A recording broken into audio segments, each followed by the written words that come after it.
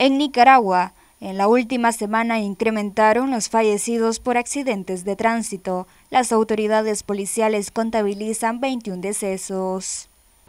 Destacamos que en el 90% de nuestros municipios no se registran personas fallecidas en accidentes de tránsito.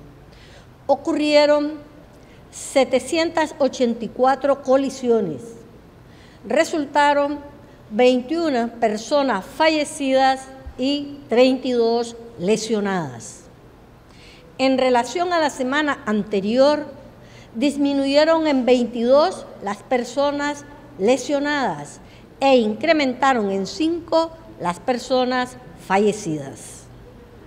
Los afectados, 12 conductores, 5 peatones y 4 pasajeros. Las principales causas, 9 por estado de ebriedad, 9 por exceso de velocidad y 3 por otras causas. Vilma Reyes, jefa de Tránsito Nacional, brindó las recomendaciones para evitar hechos que lamentar. Y nuestras recomendaciones para salvar vidas. La embriaguez es la causa principal de fallecido en accidentes de tránsito. Si toma, no conduzca. Respete los límites de velocidad y las señales de tránsito. Revise el estado mecánico de su vehículo, frenos, llantas, parabrisas, luces y pidevías. Utilice los dispositivos de seguridad, triángulos, conos y cintas reflectantes.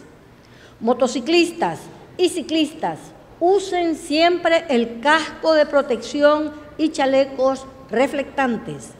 Peatones, en la vía pública caminen con prudencia y con responsabilidad. Antes de cruzar la vía, observen a ambos lados.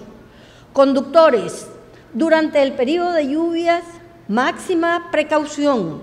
Eviten transitar por zonas de altos riesgos, puentes inundados o cauces con fuertes corrientes. Circulen con las luces encendidas. La Policía Nacional recuerda a conductores, pasajeros y peatones que los accidentes de tránsito se pueden evitar. Para Noticias 12, Luisa Centeno.